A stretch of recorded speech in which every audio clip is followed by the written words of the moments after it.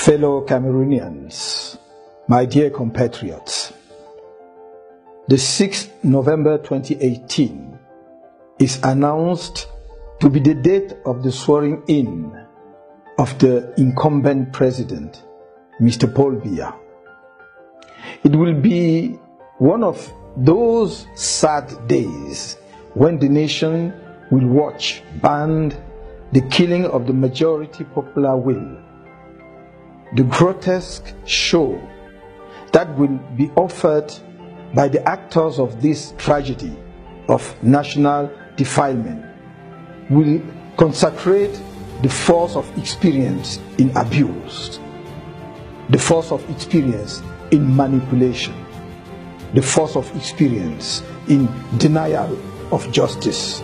But at the same time, we must make this 6 November 2018 a unique and exceptional day, which marks more than ever before the beginning of the virtuous renaissance of our precious, common, and inalienable heritage that is Cameroon. On 7th October, more than 3 million Cameroonians from the interior and the diaspora went to the polls to choose their president of the republic. In spite of the massive and barbaric frauds of the regime in place, the figures from the polling stations make me, your humble servant, the winner of this election. Against all patriotic logic, in perfect and gross ignorance of all the blatant irregularities denounced throughout Cameroon and the world, the Constitutional Council decided to proclaim Mr. Biya the winner of this election on the basis of documents fabricated for the occasion by the agencies of this power and in total contradiction with the truth of the ballot boxes. The imagination of some allowed the arbitrary attribution to each candidate of a percentage out of a void. On what grounds should we let such an injustice flourish? Let this be clear to all.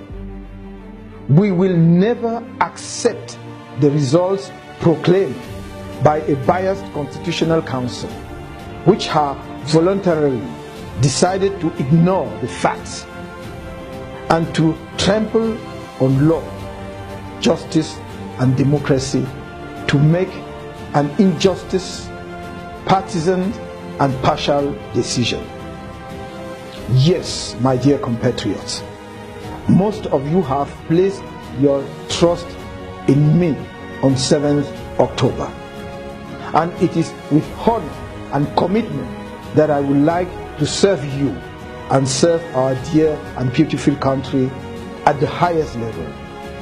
In attaining this ultimate goal, I privilege the peaceful means for the triumph of truth because I cannot wreak havoc in my own country to access the presidential office. Others have shown us that they are ready to stay in power. But our plan is not that of the destruction of our country, as 36 calamitous years of presidency have succeeded. Our wish is not to lead as if nothing had happened.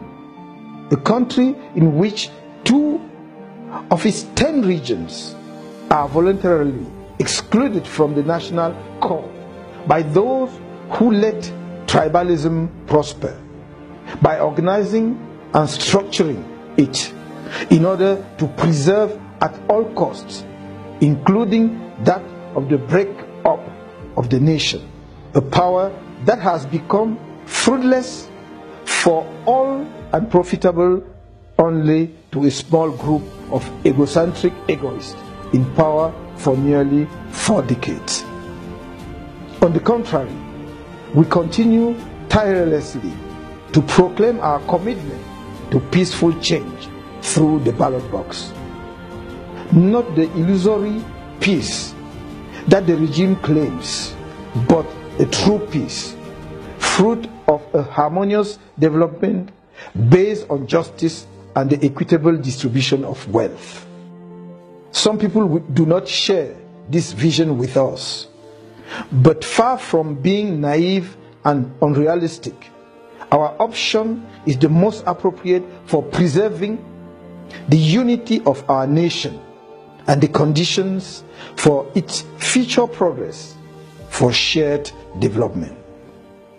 To you, my brothers and sisters in the English speaking regions of Northwest and Southwest, I reiterate how much I suffer with you in this context of civil war in which you have been immersed for nearly two years. My ambition was and remains to put an end to this disaster as soon as possible. Unfortunately, the current circumstances prolong your suffering, but nothing is lost. To those who, undermined by fear, shrug their responsibilities, to those who, in the name of their own personal interest, accept fraud and iniquity, injustice and institutional disorder, I would like to remind you that if unfortunately the danger that hangs over our country should strike it, it will be at the expense of the future of all our children without exception.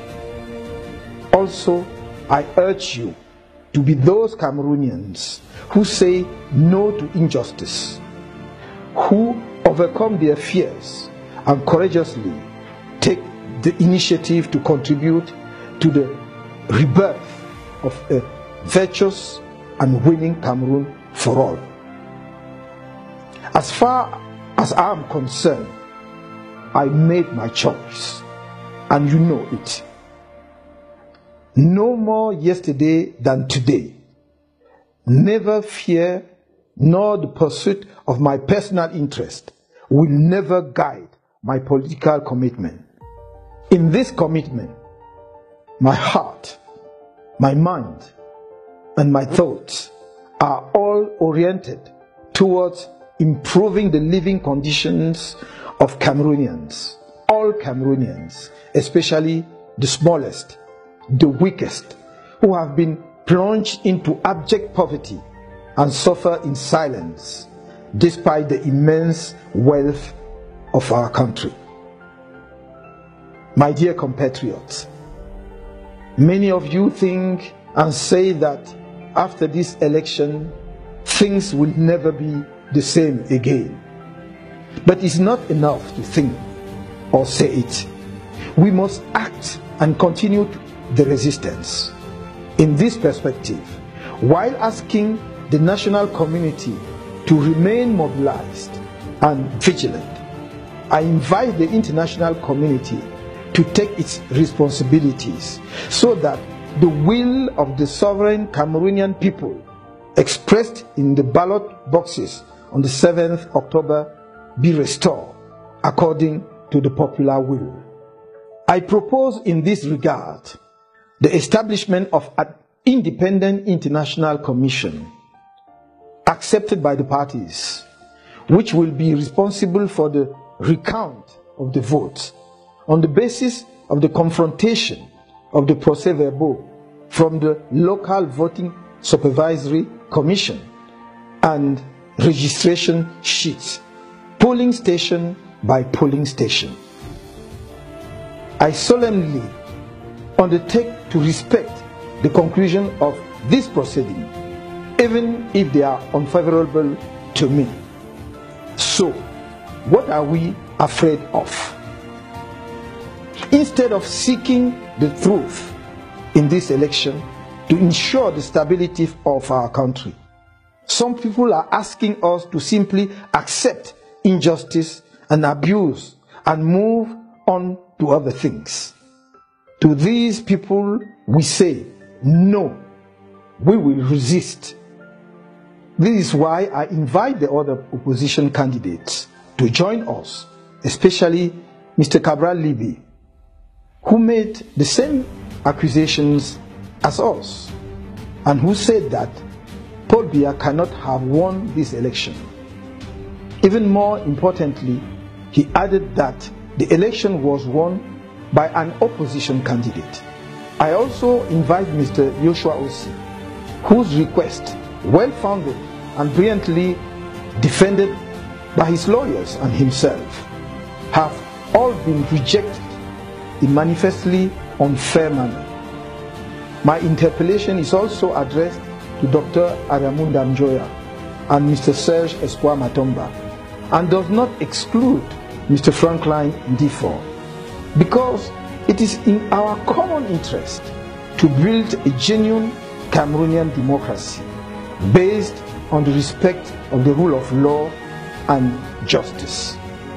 I take this opportunity to send a patriotic and Republican greeting to the men and women of exception who have shown that it was possible to work together by joining me in the construction of the winning coalition that powerfully and victoriously supported me during this 2018 presidential election. I would also like to thank all the Cameroonian people for their mobilization. To those who trusted me in choosing my humble person, I express my infinite gratitude and the ardent wish that they remain confident and keep the flame on. I respect the choice of those who voted for other candidates than me. I would like to send them my Republican fraternity. The li- liberation of our country from the yoke of injustice and arbitrariness is a challenge to us all. Whoever we are, wherever we go, we must act. We are the most numerous and today the most determined. Fear is no longer on the side of the people, but on the side of the powerful, who have hungered the people and insulted them after having impoverished and despoiled them shamelessly. Let us continue to assume our positions and convince other Cameroonians, as some of our illustrious compatriots have done, like renowned artists, politicians, men and women of law, letters, science, education, media, sports, religious organizations, and of our precious civil society. I express my deepest gratitude to them all. I will not be able to mention you all who made this dream possible.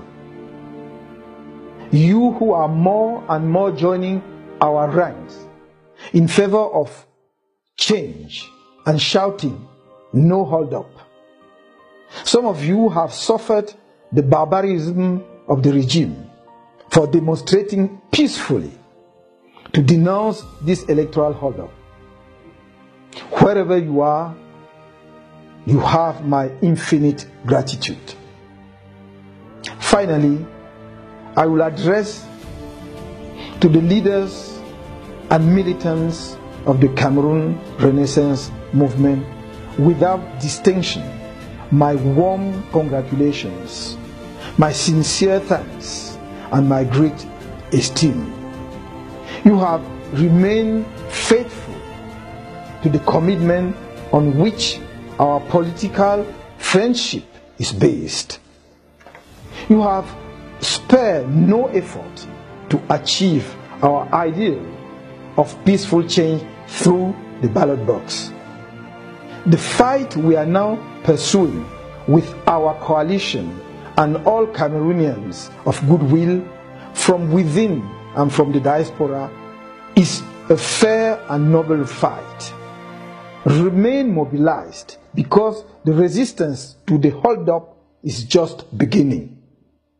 Never forget Together, it is possible. God bless you and protect Cameroon.